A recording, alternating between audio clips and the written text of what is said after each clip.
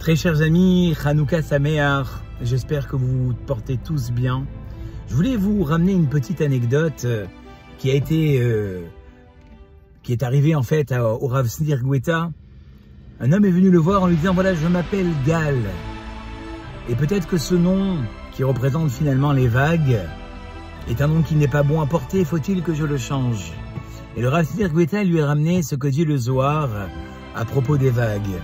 Eh bien, les vagues, très chers amis, le Zohar dira pourquoi elles ont cette tendance à vouloir s'élever vers le haut? Le Zohar de nous dire, depuis la création du monde, Dieu a séparé les eaux du haut à celles du bas.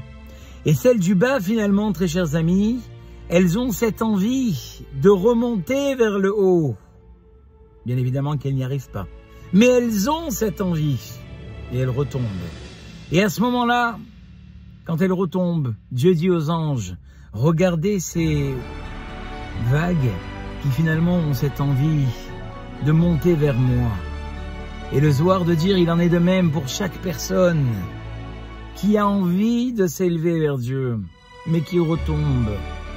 Peut-elle considérer qu'elle ne s'est pas élevée? Peut-être considérer que sa démarche a été puérile? Il n'en est rien. Le fait qu'elle ait eu envie de monter lui est considéré. Et c'est peut-être finalement par cette euh, entreprise qu'elle pourra espérer aller plus haut. Je vous souhaite Hanouka Sameach et vous dis à très très bientôt pour un nouveau selfie.